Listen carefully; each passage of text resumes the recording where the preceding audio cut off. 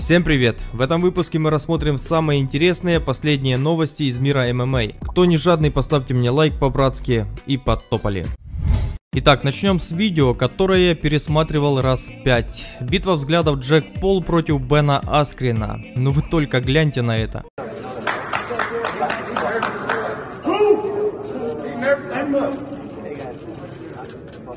Showtime, baby. 22 days away. 22 champ is days away. Showtime. The champ is here, baby. The 22 days away. here, baby. Bitch me. Bitch me. Hey, hey, hey, hey, hey.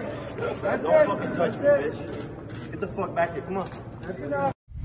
Магомед Исмаилов раскрыл в себе новые таланты. Он показал Моргенштерну, как нужно правильно читать рэп. Йоу-йоу-йоу, дорогие друзья! Решил я зачитать вам рэпчика чутка. В частности, для молодого поколения. Йоу! За что боролся я, зато и жил. К чему стремился я, зато и бился. Не падал в грязь, был стойким. По глотку испивая из чашки жизни горькой. Не боялся я глянуть дуло ствола.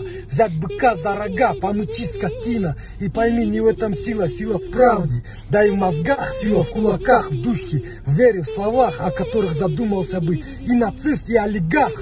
Эй, маленькая красавица, тебя там в будущем муженек достойный дожидается, улыбается, тебе нормально так еще расти, достойно это время проведи, учись, готовь, люби, живи, люби жизнь, неси добро, береги честь.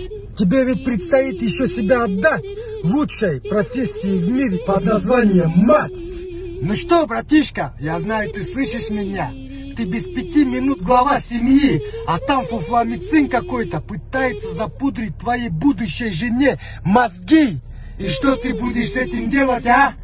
От тебя ведь зависит будущее твоей семьи. И вот давай теперь скажи, что ты будешь с этим делать, а? Мальчишки и девчонки, а также их родители. Пора бы уже быть бдительными, не проморгайте благой услады, подтанцовывая под сатаны баллады. У меня на этом все, но я бы мог сказать еще, что Маргерштейн и все, кто его поддерживает, говно. Но нет, не скажу, всем и так все понятно. Ничего нового я этим вам не расскажу. Пора и им меняться, над текстами там своими позаниматься, нести правильный посыл, хотя бы чтобы толк от них какой-то был. Йоу-йоу-йоу! Итак, переходим к главной теме. Николай Валуев раскритиковал слова Хабиба о Моргенштерне. Напомню главные слова Хабиба из поста. Очень надеюсь, что появится у нас в стране какой-нибудь дисциплинарный орган, который будет курировать и чистить эту всю грязь с экранов. Николай Валуев прокомментировал эти слова вот как-то вот так. Такой орган у нас существует, Роскомнадзор. Хабиб не в курсе. Все, что появляется в СМИ или интернете, в рамках закона курирует Роскомнадзор. Если закон кто-то переступает, обращаемся в суд, судимся и поступаем по их решению. Также Роскомнадзор напрямую занимается изъятием тех вещей, которые противоречат закону. Так что здесь, на мой взгляд, дополнительный дисциплинарный орган не нужен. Здесь нужен самоконтроль тех людей, которые являются кумирами молодежи, они должны думать, что они делают. Николай, открою вам маленький секрет.